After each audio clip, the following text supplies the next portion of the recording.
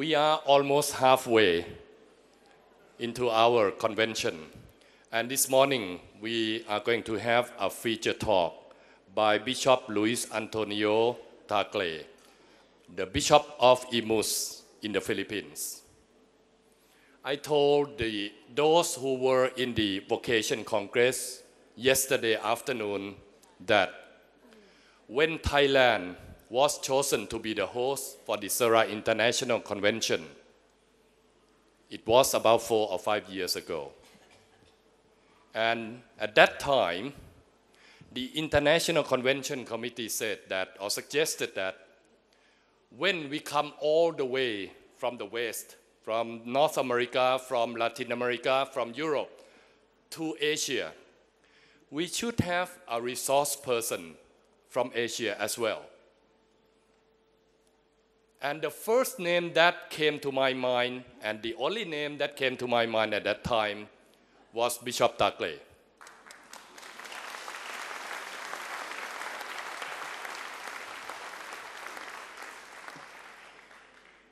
I think, like some of you or many of you, we normally have several appointments at the same time at several places from time to time.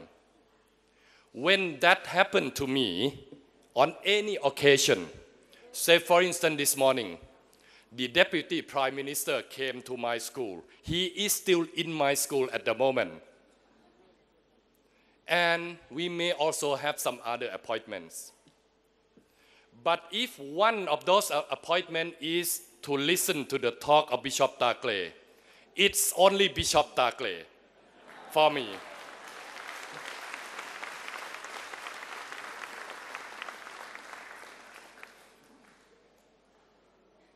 He is the most sought after speaker and the most liked uh, uh, speaker in Asia. Whenever the Federation of Asian Bishop Conferences have the meeting, they always make sure that Bishop Tagle will be one of the speakers. And so, when we meet in Bangkok this year, we have the theme of Be Not Afraid, rising to the vocations challenge of the 21st century. We have invited Bishop Tagle to please come and share his thought on this theme, especially the challenge, the vocations challenge of this century. What should we discern about and so for the next 45 minutes or so, let us concentrate on what he will or he may give us some homeworks for further discernment, for further practical suggestions on this theme. Please join me to welcome Bishop Tagle, Your Excellency.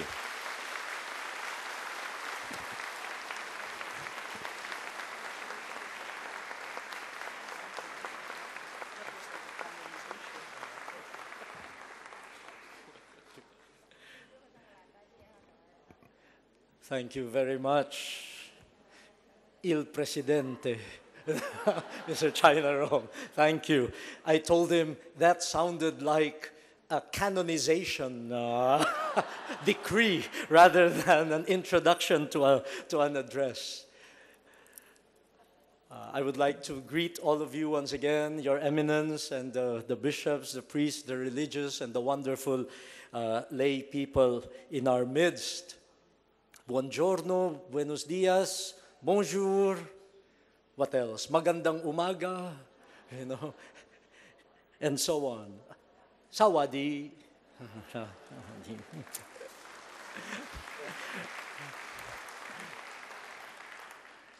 it is really a great honor for me to be part of this 63rd Serra International Convention. And I would like to thank all of you for coming to Asia.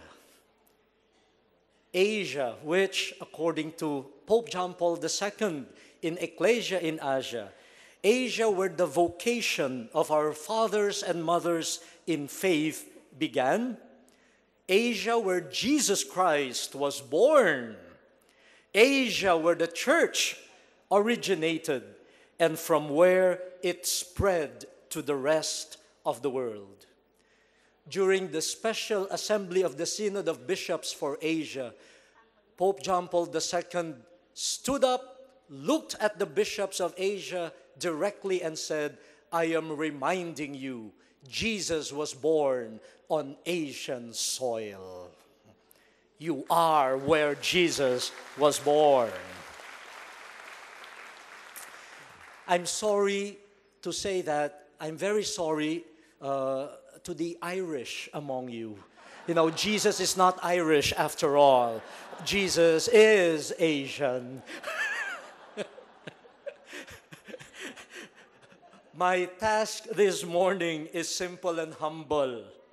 I will not pretend to be able to give you the final word on how to rise to the vocations challenge of the 21st century. I am not capable of that. My paper or my presentation is a modest contribution to the ongoing reflection on this important and urgent matter. Every moment in the history of humanity actually poses, presents specific challenges to vocation. Our century, the 21st century, is not the first and only century that will present challenges to vocations. Even from the apostolic times, even from the time of Abraham, even from the time of Adam and Eve. And if we look at the history of the church, we can conclude that the world in which men and women live, the world which they construct, has always been the context for the flourishing or the decline of vocations. And so, as previous generations of Christians grappled with the vocations challenge of their particular times, we of the 21st century are urged by our faith to do the same. We should really discern and confront the vocations challenges peculiar to the 21st century. Now, to facilitate our reflection, I will offer first of all a working description of vocation. The word vocation. Now, what I will present is not a strict definition, and it is not also a comprehensive description of what vocation is. What I will give is simply an aid, a help to achieving a common understanding of vocation for the purposes of this conference. Uh, I, I thought I would start that way because we might be talking about vocation, and if there are 200 persons here, 200 understandings of vocation might be operating. So, at least for the purpose of this conference, I would offer a working description of uh, vocation. I should say, first of all, that I believe that it is the whole church, the whole community of believers and disciples of Jesus Christ that has a calling or vocation.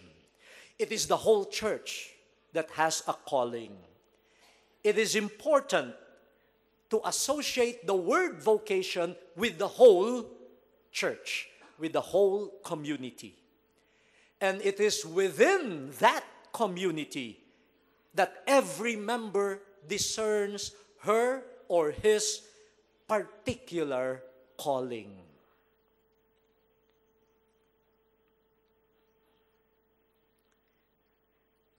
Mm-hmm. Are you still with me? now, I also believe, as all of you believe with me, that vocation is a process. That's why I had a professor who said that we should not say I have a call. It's better to say, I have a calling. It is a progressive thing, it's an ongoing thing. A vocation is a process which involves the total person.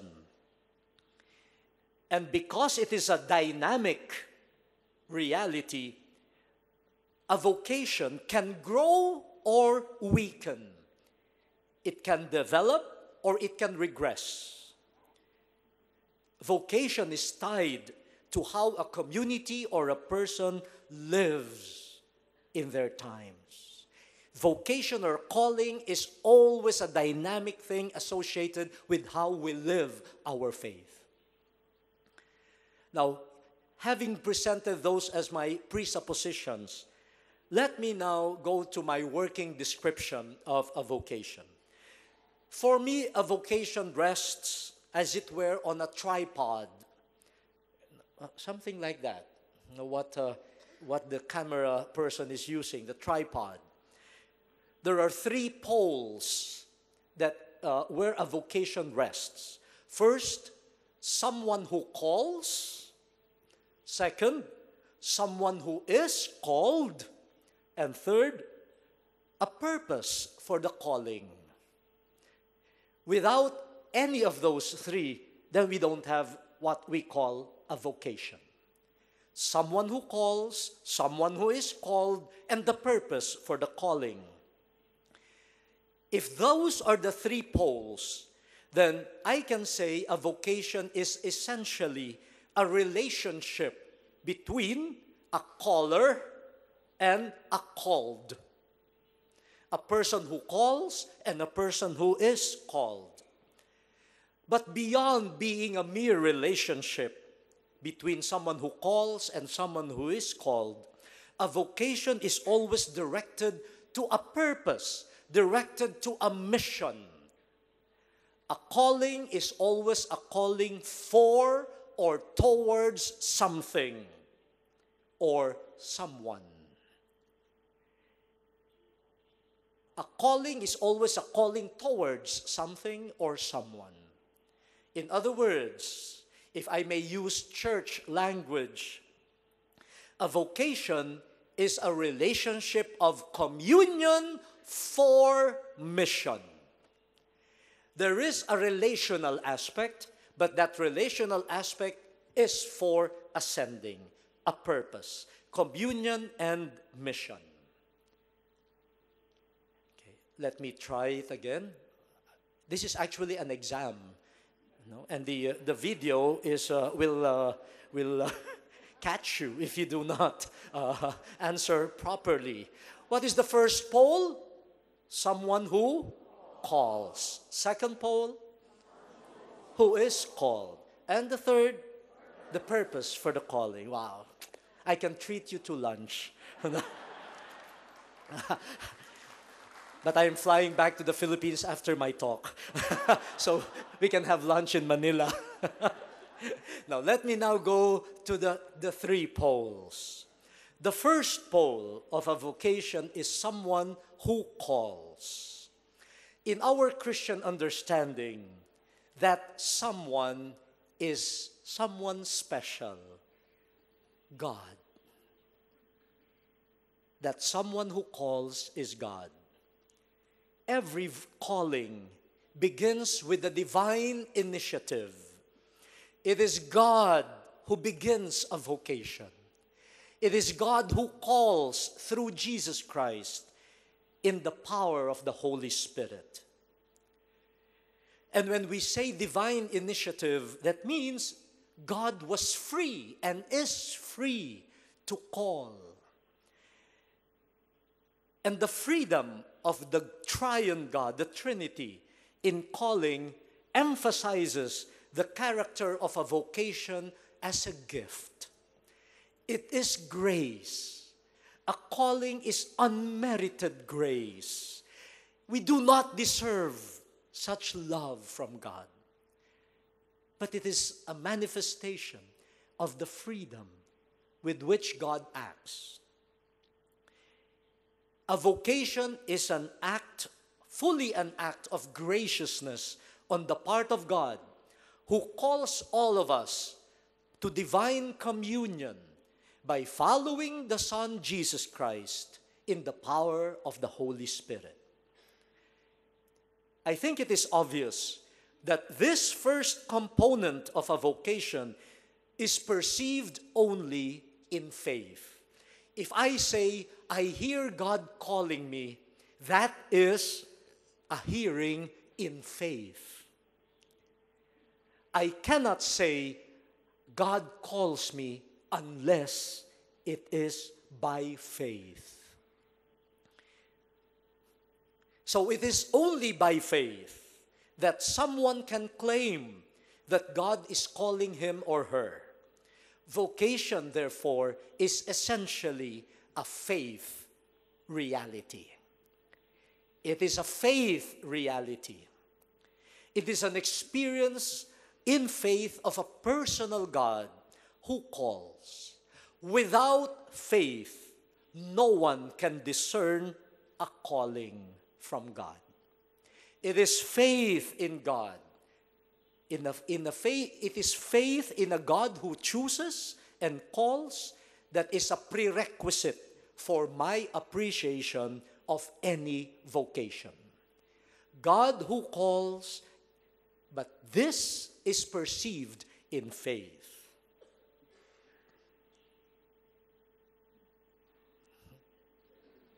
Hmm, okay. Hmm, hmm. Now, faith, however, is sown, nurtured, and fulfilled within a faith community.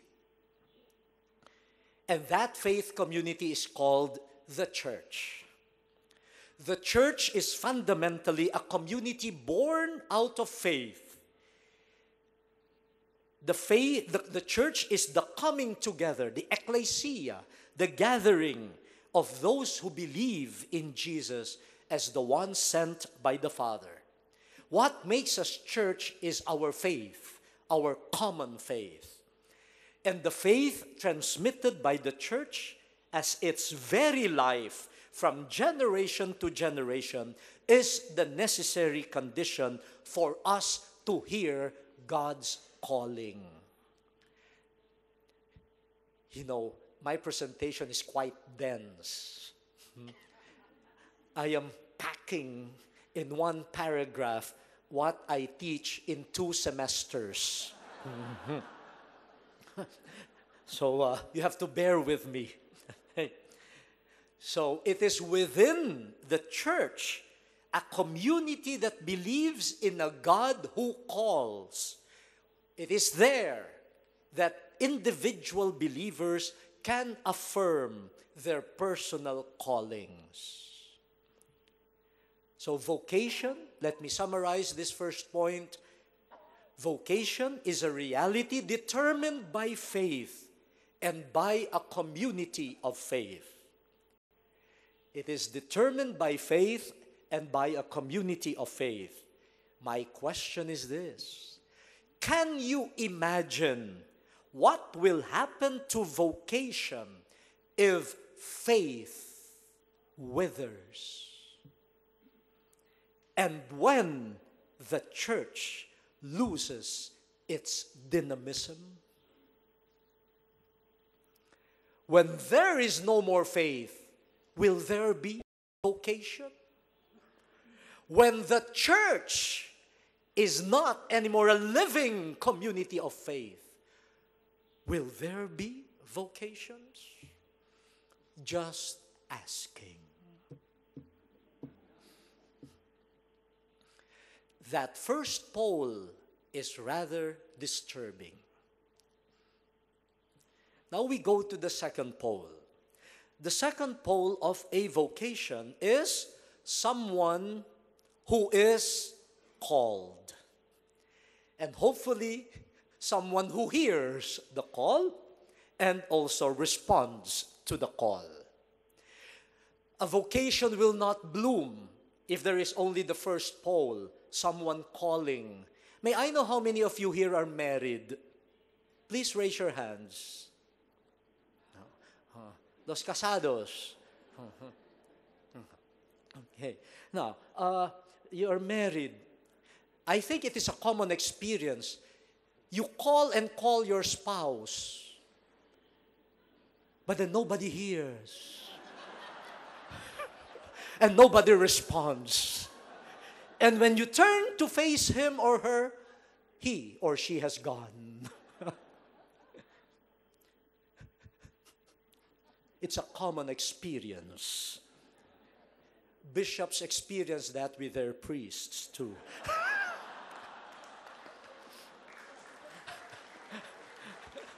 and I'm sure the priests will say, We experience that of our bishops too. now, so this is important. It is not enough to focus on the one who calls. We should also consider the one who is called and hopefully who hears and responds to the call. From our description, the hearers of the call are both the community and the individual believers. It is not just individuals, but the whole community. But why can they hear? They hear because they believe in an ongoing relationship with God. We cannot hear if there is no faith. But hearing in faith, huh, hearing in faith does not happen in, in, on some ethereal level of existence. Our common life and our individual capacity to listen in faith is affected by the historical, social, political, economic, and cultural factors that form our communities and form us as individual persons. We are acutely aware in our 21st century of the impact of social realities on people's faith, beliefs, questions, and commitments. If it is in conc- concrete communities and concrete men and women who are called, then they are called and respond within the concrete realities of their historical existence. God calls men and women and communities in their times. Now, let me tell you a short story. I was invited to be a facilitator in a renewal program for priests. And one of them raised his hand and said, I refuse to be part of this renewal. I said, Why? He said, I prefer to be a priest of the 17th century rather than of the 20th century. I mean, sir, when were you called? and when did you respond to the call? In the 17th century? I mean, sir, if the calling is concrete, the calling will come to you in your time, in your place of the world, in your life. And you should hear in your world, in your life. So,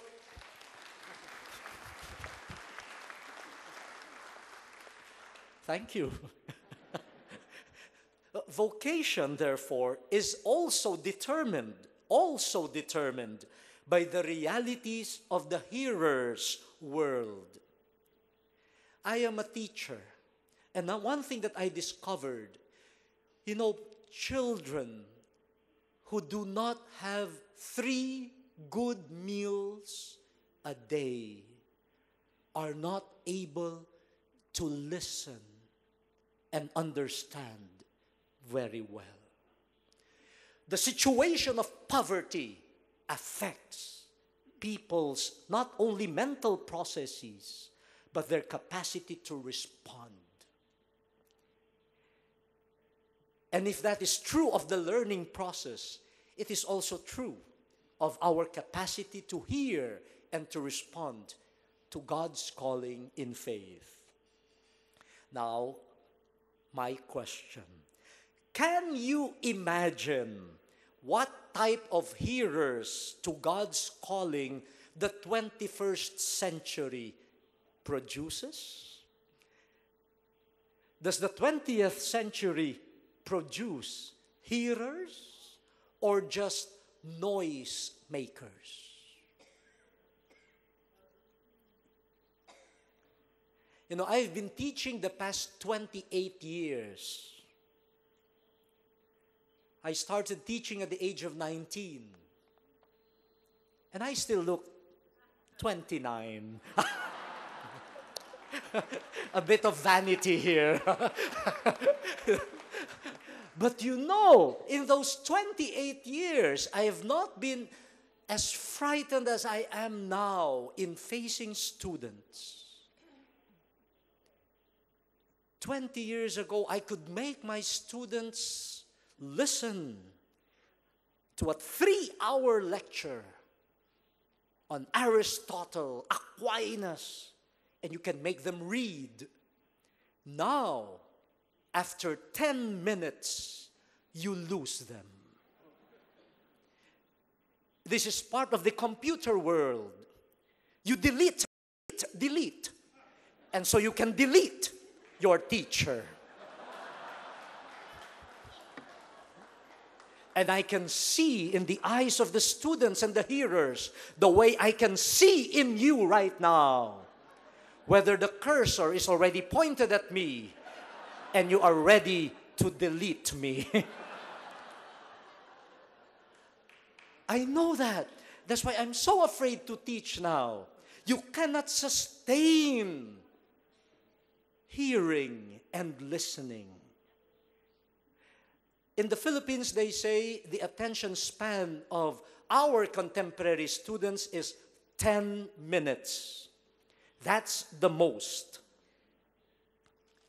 Now, this is the type of people our contemporary computer technological world has produced. Hearers good only for 10 minutes.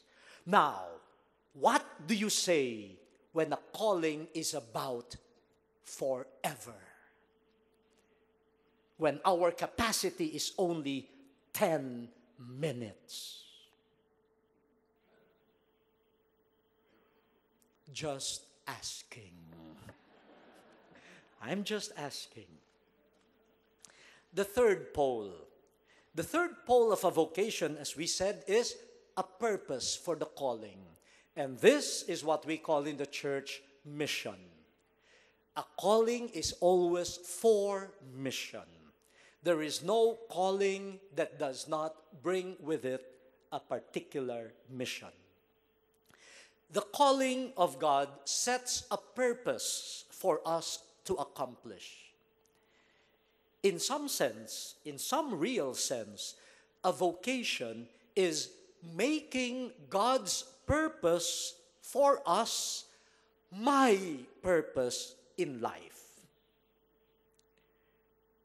The process of clarifying vocation is actually the process of finding one's purpose in life as it is made known to us in faith. True mission happens when we align align our life with God's purpose for humanity, for the church, and for ourselves. So when God calls, God sets a person's direction in life towards the accomplishment of God's plan for the world. So, vocation is actually a search for my purpose in life. It is a search for the mission that God offers to me for my life. Can you imagine what happens to vocation when people do not have a sense of purpose or mission in life. I don't know whether this is happening in, in your respective countries, but among the youth in the Philippines, the favorite word is whatever. you ask them, What do you want to eat for lunch? Whatever. What do you want to become after high school? Whatever. Where do you want to go this afternoon? Wherever. Who is your boyfriend now? Whoever.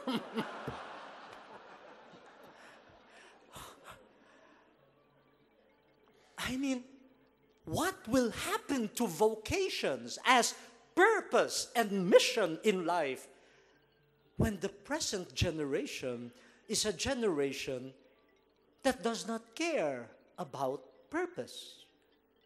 Whatever is the best answer that I can give. I am just asking. Oh. Because I asked the questions, I am now given the difficult, the difficult task to at least start answering them. I believe that the three poles of vocation and the three fundamental questions with which I ended the presentation of each portion pose the very challenges to vocations in the 21st century. They may not be complete, but I think they pose the fundamental challenges to vocations in the 21st century. So let me frame the questions this way of the challenges. First, what are the contemporary challenges to faith in God and the reality of being church? I think that is the first question. Faith in contemporary times and being church. The second challenge what are the challenges to hearing God's calling? And third, what are the challenges to developing a sense of purpose or mission in life? These are these are there are many more challenges but I believe these are some of the crucial challenges. So now we go to these three poles as challenges. First, what is the contemporary challenge to faith in God and to the church as a community of faith? I think we do not need to be professional social scientists to see that the prevailing worldview in our 21st century is a technological, scientific, and pragmatic, functional worldview. You don't look at the flowers anymore and just behold the flowers as themselves. When we look at the flowers, we say, I wonder what medicinal value this has. It's all pragmatic, technological. Of course, it has provided a lot of benefits to human life. But just like any worldview, that technological pragmatic worldview prevalent in the 21st century is insufficient. We are beginning to sense the loss of the sense of grace, gift, mystery the sense of the sacred. And because of that, human success, human achievements have made us less dependent on God and has, have made us less see in faith the workings of God. In fact, many scientists are now creating human beings, not anymore in the image of God, but according to their image. They are fabricating now human beings.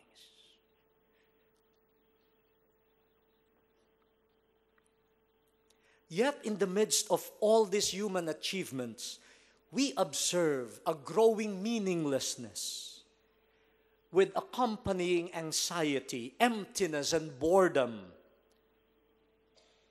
People don't seem to be settled in spite of achievements. The plurality that marks our society has also made beliefs and convictions a matter of public opinion. Everything is dictated by surveys rather than conviction or belief. And so, lasting commitment to beliefs is not anymore a value. When public opinion changes, then many people throw out their beliefs also out the window. This mentality is nurtured by mass media and the world of business. The products become obsolete very quickly. Even stability in family life is threatened by the growing incidence of separation of couples, absentee parents, and displacement of peoples. In other words, we find developments in contemporary culture that challenge our need for God, our need for absolute truths, and for stable commitments all traditionally considered necessary elements of faith and vocation.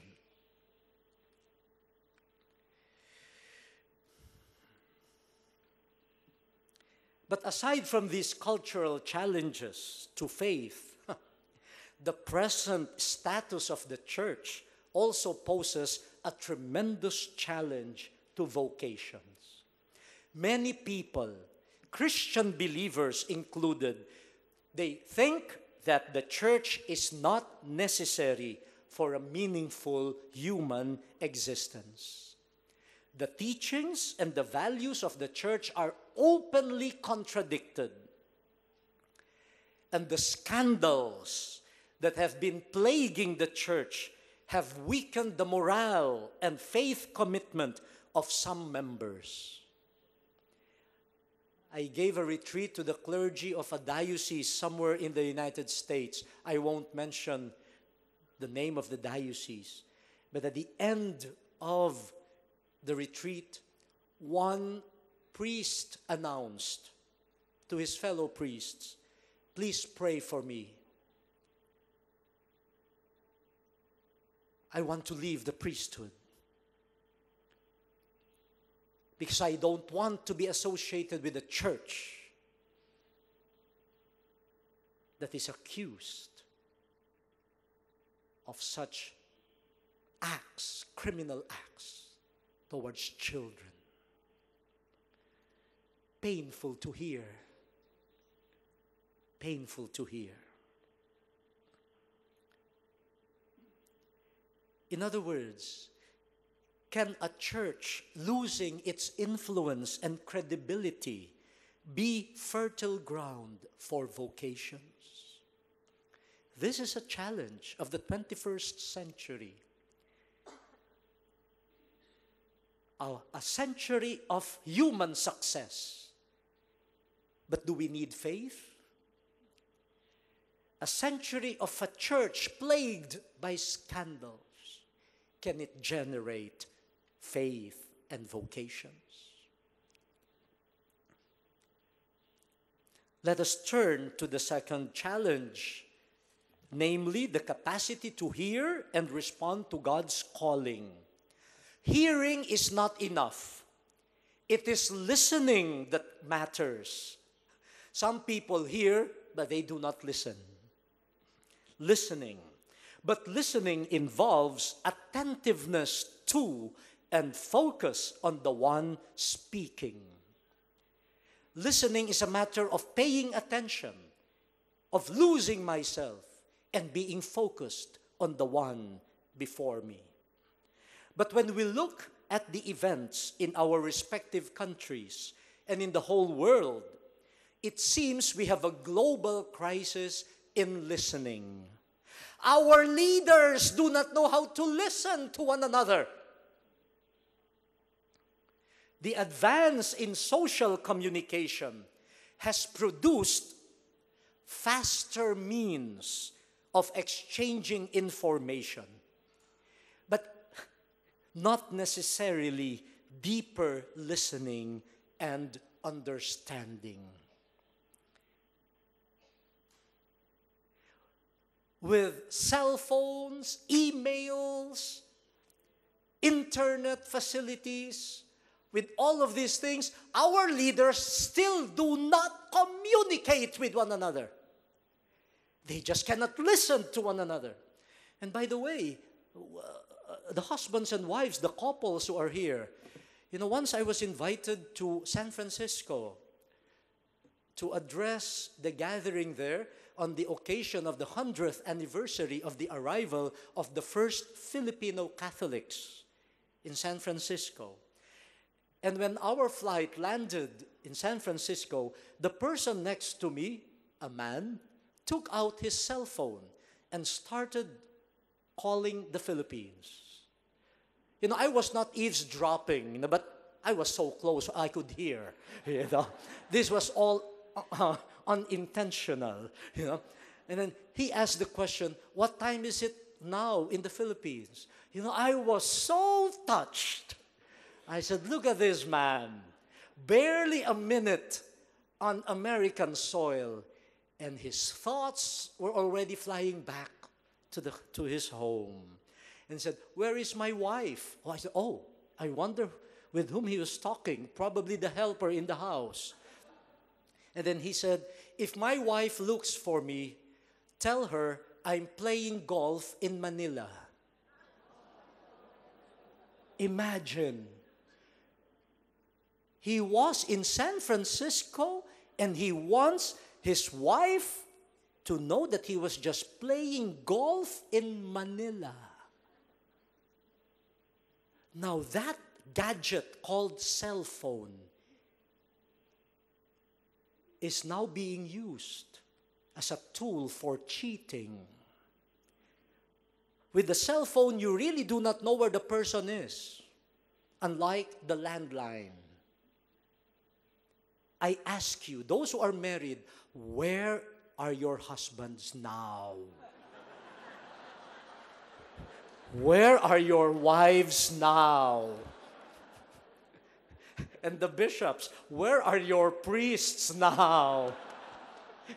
the superiors of religious communities, where are your community members now? So what I do, I call priests through the cell phone. I said, "Oh, Father, where are you?" And then I said, "I'm in the rectory." Oh, good. And then I call the landline. So, may I speak with Father? He's not here. Aha! no. You know, we have a lot of means to communicate, but we are using the means not to communicate. We are hiding from one another. Listening is not a virtue anymore. And as I said, even teachers observe that the attention span of children is getting shorter.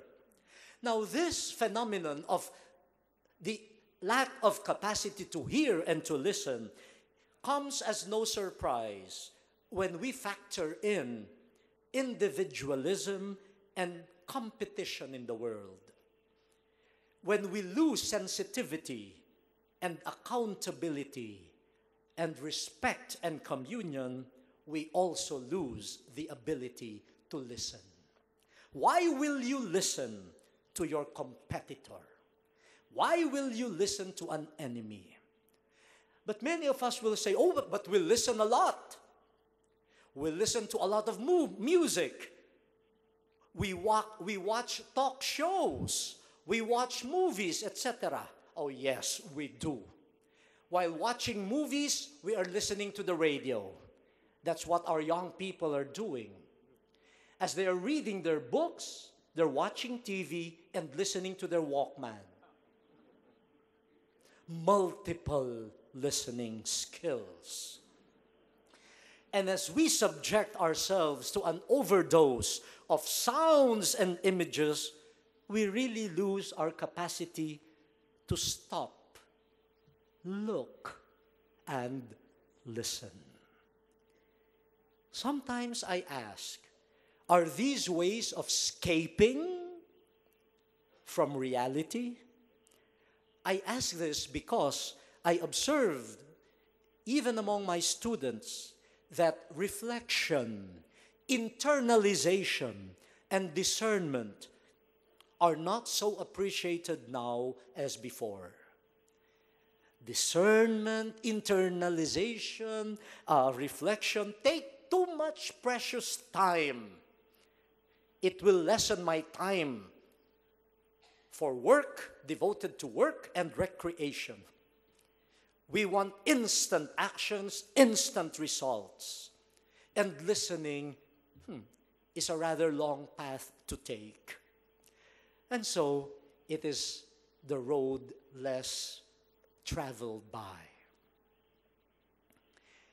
And so, one challenge of the 21st century, known for sophisticated means of communication, but not necessarily translated into deep communication and listening. Uh, the challenge is how can we discern vocation when nobody listens? And the final challenge is the sense of purpose or mission in life. Many scholars and commentators say that the 21st century is characterized by a lack of compelling vision, focus, direction, and investment in dreams. How I wish there would be more Martin Luther Kings who could stand and say, I have a dream.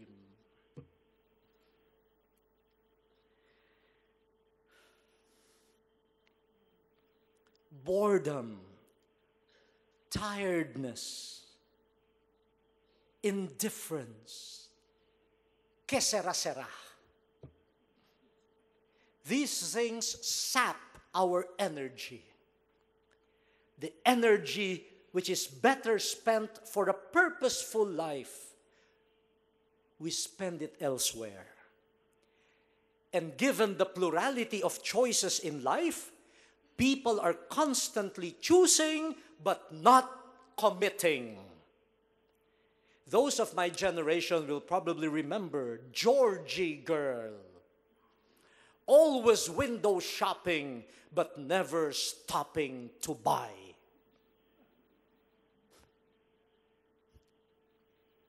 Window shopping endlessly, but not committing. Well, this comes, comes with a phenomenon called multiplicity of selves. Each person now has multiple identities and multiple selves. Before your wife, you are one person. Before your children, you're another person. Before your secretary, you're another person. Before the local parish priest, you're another person. That is the expertise of the 21st century. Multiple selves. And then the true self is buried, undetected for a long time. So the challenge is how can vocation for mission grow in people who have a weak sense of identity and direction in life? Mm-hmm there are more things to say. Now, that is a rather heavy and grim presentation of the challenges. But I purposely did it that way so that we can wonder whether vocations still make sense in the 20th, 21st century. Is there a place for vocations in our contemporary world? Is there a future for vocations in the 21st century with those challenges to faith, church, listening and hearing, and sense of purpose in life, the challenges seem to cut vocation from the very roots. Is the 21st century still a century for vocations? Well, the answer is not mine to give, but for Jesus to give. He says, Be not afraid. Be not afraid.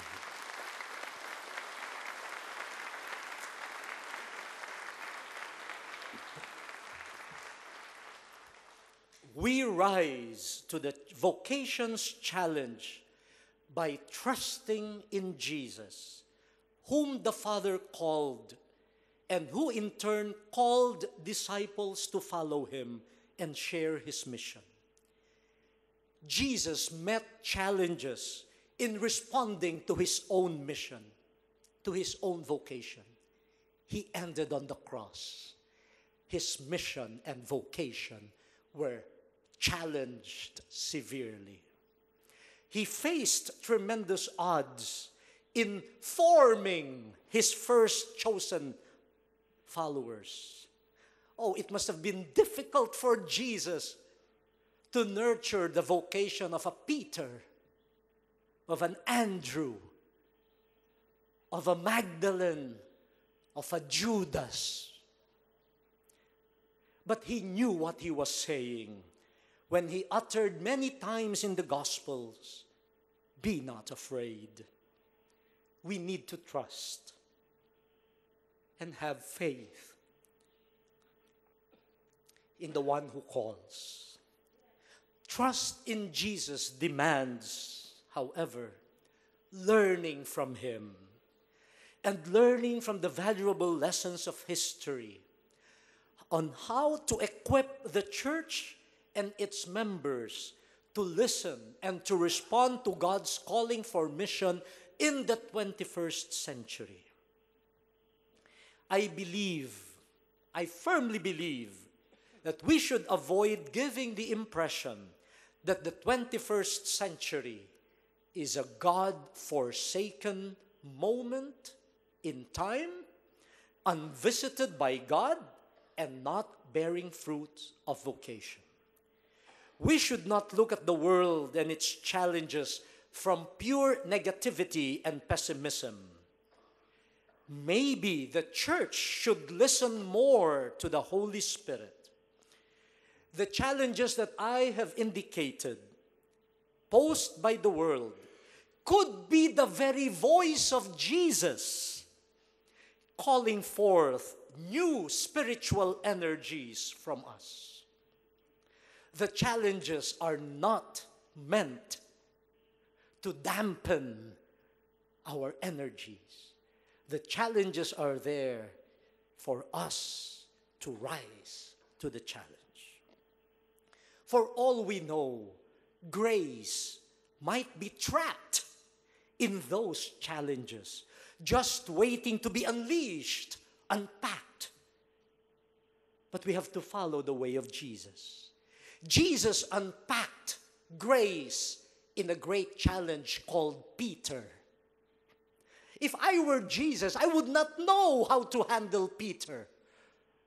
Probably in the washing of the feet, I would have cut off the feet of Peter rather than washed his feet.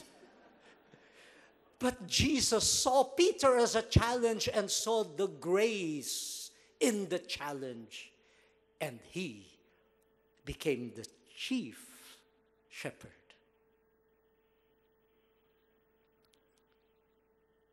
I end with a few suggestions.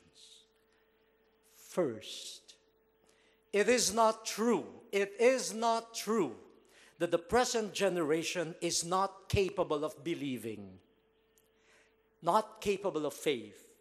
It probably manifests its faith differently from other generations.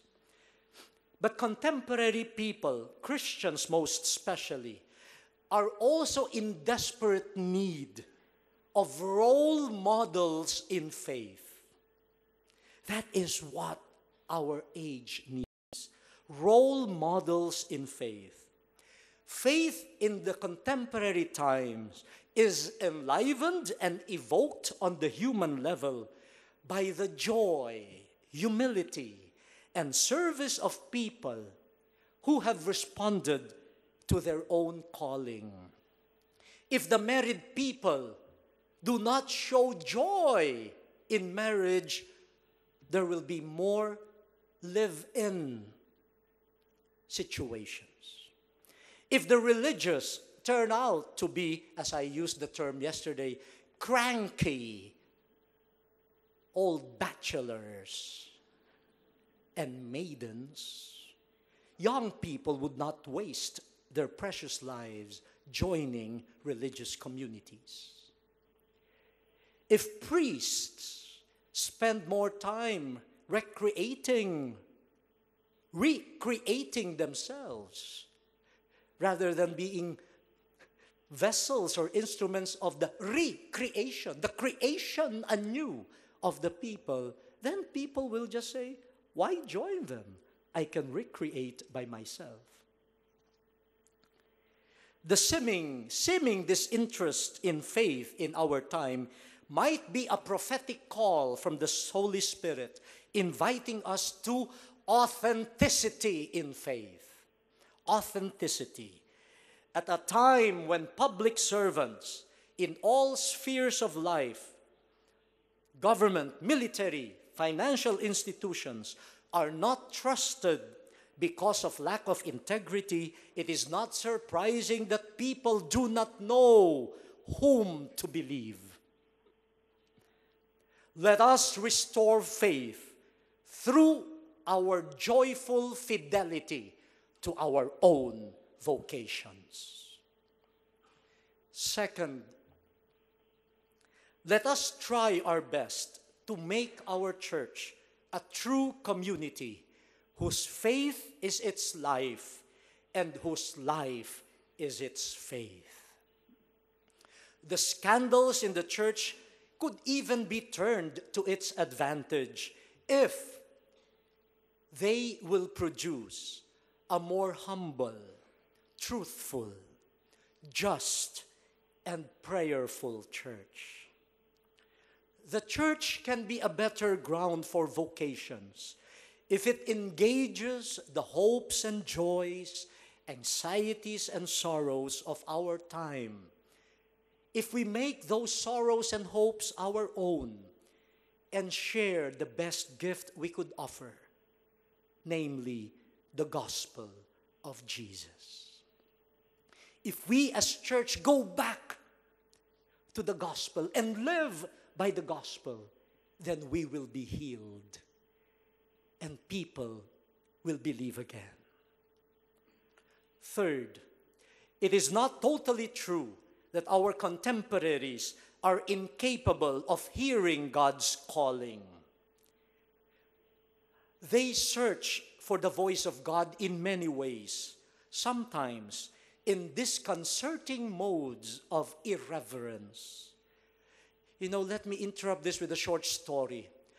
You know, I was in confirmations, I, and there was a young girl who approached me, and she stood on one foot with her ha- arms crossed in front of the bishop.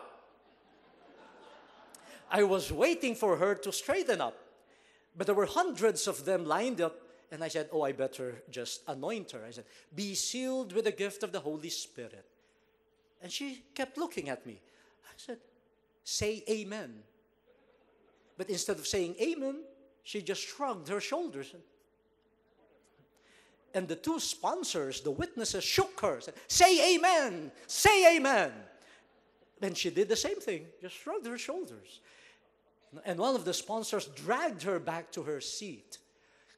And really, I was oh, fuming with anger you know, with the irreverence. And at that point, I prayed to the Lord and said, Lord, in your eternal plan, I would become a bishop someday. Why did you not make me a bishop before Vatican II when confirmation still included that spanking? I would have confirmed her three times. Uh-huh. Now it is a modest anointing. I could not have done anything. Why only now? Well, of course, I was born much later, so I could not have been a bishop before that. But, but really, but you know, when I started reflecting on that incident that same evening, I realized it was around that time when the newspapers in the Philippines carried a lot of news regarding scandals of priests and bishops. Probably it was the girl's way of saying, Are you authentic? Are you like them? Maybe through irreverence, our young people are searching and trying to locate where God is present. So when people come, when we come to people and when people come to us, especially the youth, let us not come to them with labels or prejudgments, but with a focus on the good they possess. And they have tremendous good. Let us appreciate the limits they struggle with, the pressure, the tremendous pressures that they bear, and the confusion that they face. And when we do that, our compassion will prepare them to hear the voice of the Lord. It is compassionate hearers who will enable others to hear the word of God. And finally, it is not true that our contemporaries in the 21st century do not have a sense of purpose in life. They are definitely searching for life itself. It may take them longer compared to uh, previous generations, but it doesn't matter for as long as they search.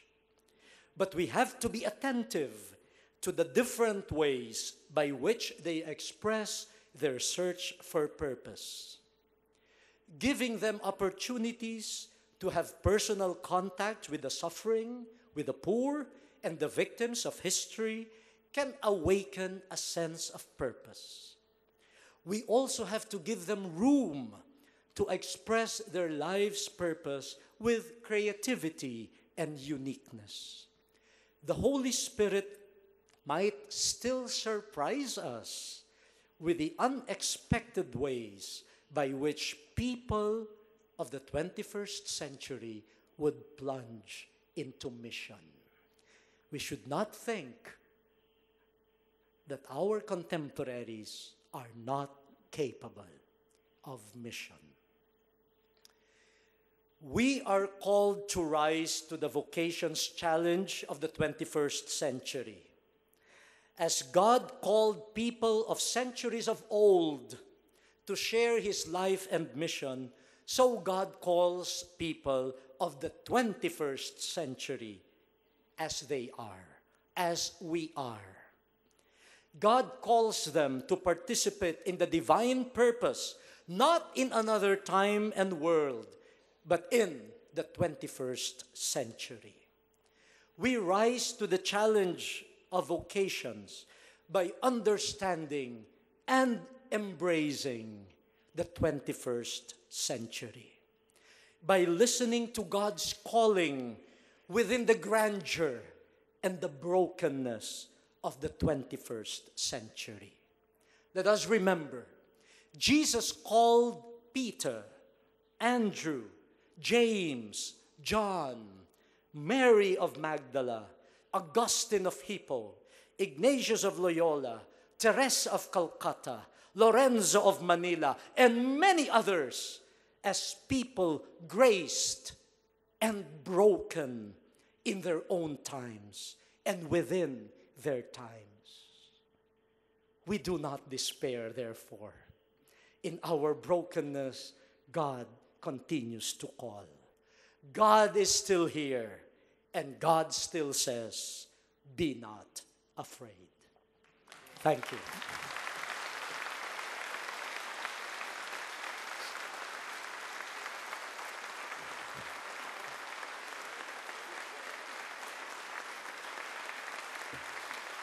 Thank you, thank you, thank you, thank you.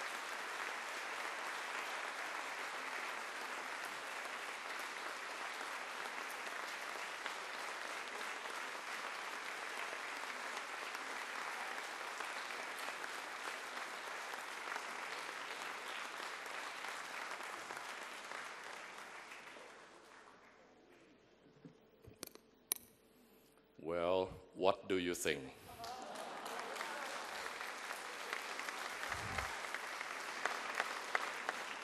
Make sure that in the future, when you see the name Bishop Tagle as a speaker anywhere in the world, be there before the time. Make sure you get a good seat.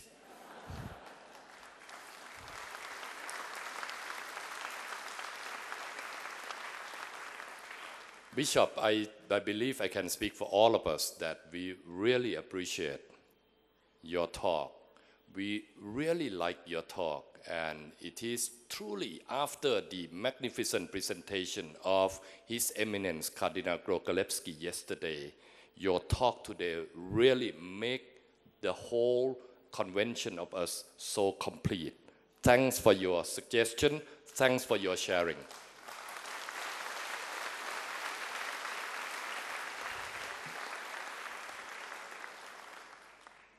He will have to go to the airport. He is wanted in the Philippines for another talk.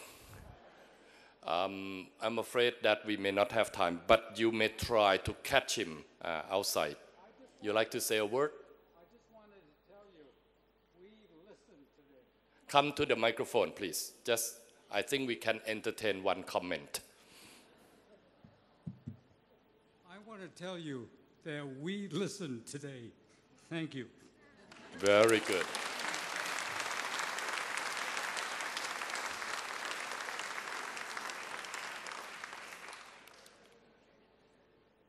I thought that you were going to ask what is the secret of him to, to be being forever young. um, we have CDs available and we try to sell it as cheaply as possible at cost price, $5. You order today, you get it tomorrow. You order tomorrow, you get on the following day. But if you order less than 24 hours before the convention ends, we have to add, I don't know, another $10, $15 for shipping. So order today and get it tomorrow. And now join the Thai Saran celebrating the 25th uh, anniversary of our Bing Sura in Thailand, their lunch. And so now the, the food, the spiritual food is over. We now will have the physical uh, food on the other room. Enjoy your lunch. Thank you.